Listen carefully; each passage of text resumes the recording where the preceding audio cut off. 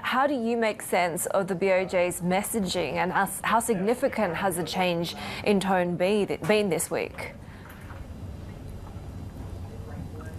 Right. Um, it's clear to me uh, that the BOJ has changed its um, messaging strategy in the sense that from this week they start to um, clearly mention and discuss about um, the exit scenarios.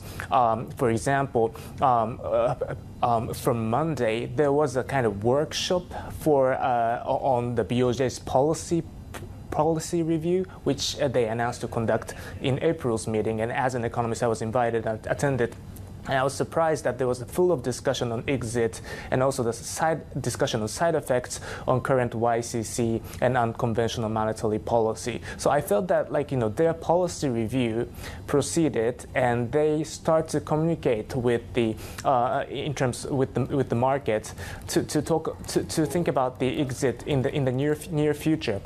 And of course, um, after that, the Deputy uh, Governor Himino talked about even merits of rising uh, the hiking interest rates. And also yesterday, um, Governor Ueda in the Parliament uh, mentioned about what if scenario, some what if scenarios on on the exit. And also after that, he, he met with Prime Minister Kishida. Those, those I think those are coordinated move, uh, intentional move by the BOJ that they will start to communicate with the exit. Yeah, I mean, it's so strange. Traders almost seem to think that it's going to happen perhaps even this month. But do you think the BOJ is signaling an end to YCC and negative rates this month or even January?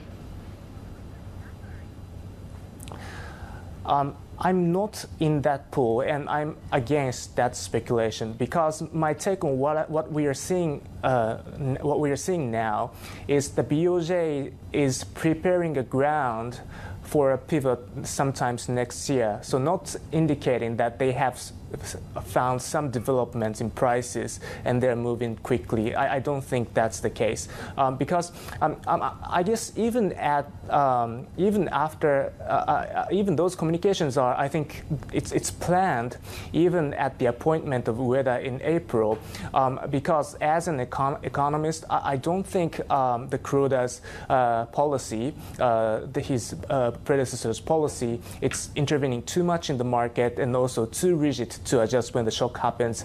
It doesn't mesh with uh, Ueda's, uh, who, who, used to be an econ professor.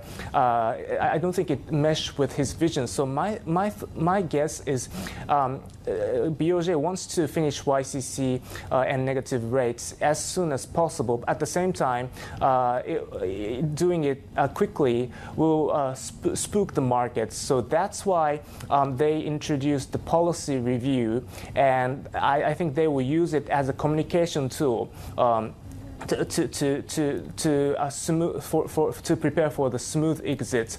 So that's what we're seeing now. So the BOJ's intention is they're planning to exit from maybe from in April or my guess is July, and they're starting to prepare gradually for the exit. But uh, yesterday market took it too much.